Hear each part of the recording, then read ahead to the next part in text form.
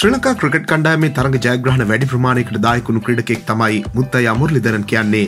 පන්දු අවද්දි කෙලින් පන්දුවපු නැති මුරලි කතාවේදී නම් හරි කෙලින් කතා කරන කෙලින් වැඩ කරන කෙනෙක් කියලා තමයි ප්‍රසිද්ධ.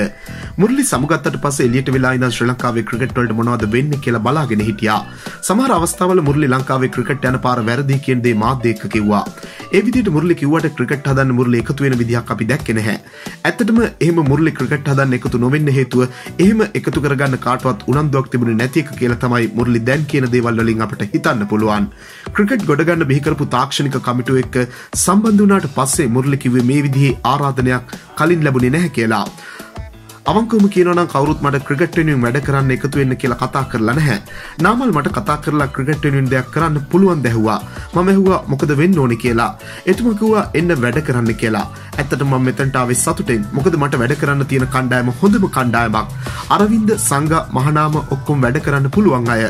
මුරලි කියන්නේ පත්කරපු තාක්ෂණික කමිටුවට ශ්‍රී ලංකාවේ ක්‍රිකට් හොඳ තැනකට ගේන්න ඕන සුදුසුකම් තියෙනවා කියලා. මේ හතර දිනාගෙන් තුන් දෙනෙක් ශ්‍රී ලංකා කණ්ඩායම මෙහෙවපු අය 80 දශකයේ ඉඳන් සෙල්ලම් කරපු අය ඉන්නවා. 2015 වෙනකන් සෙල්ලම් කරපු අය ඉන්නවා. ඉතින් හැම පැත්තම ආවරණය වෙන කමිටුවක්. අපි කිසිම පක්ෂපාතිත්වයක් නැතුව ස්වාධීනව තමයි වැඩේ කරගෙන යන්න හිතාගෙන ඉන්නේ. මුරලි කියන්නේ 2015 ඉඳන් අපේ ක්‍රිකට් ආපු ගමන් මග ගැන සතුටක් නැහැ කියලා. 2015ට පස්සේ අපේ ක්‍රිකට් ගැන සතුටු වෙන්න බෑ. අපි දැන් ලෝක කුසලාන වලට යන්නේ සුදුසුකම් ලැබීමේ වටේටත් සෙල්ලම් කරලා. ටෙස්ට් තරගයක් පරදින්නේ සටනක් දෙන්නේ නැතුව විනය ගැන ප්‍රශ්න තියෙනවා. මේ දේවල් මෙහෙම වෙන්න බෑ. ඔය විදිහට තමයි කාලෙකට පස්සේ ක්‍රිකට් හදන්න එකතු වෙන මුර්ලි අදහස් දක්වලා තිබුණේ.